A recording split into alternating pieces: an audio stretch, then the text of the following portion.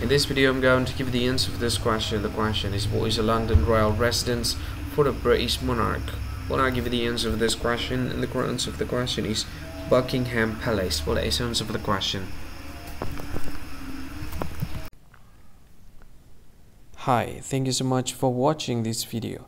If you find this video is very useful, you can help this channel to grow by subscribing this channel. Please this subscribe button and don't forget to like this video. And if you find this video is not really good or you don't really like this video or you kind of feel that it's a little bit offensive or something like that, you can click this one, dislike button. You can do that anyway.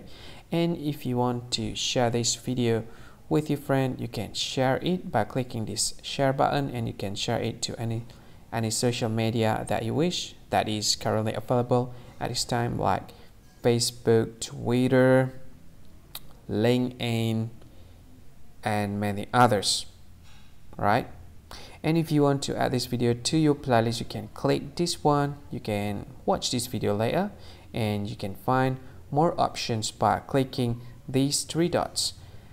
And yeah, don't forget to subscribe. I think that's all of it. Thank you so much for watching this video and see you again in another video. Bye bye. See you again.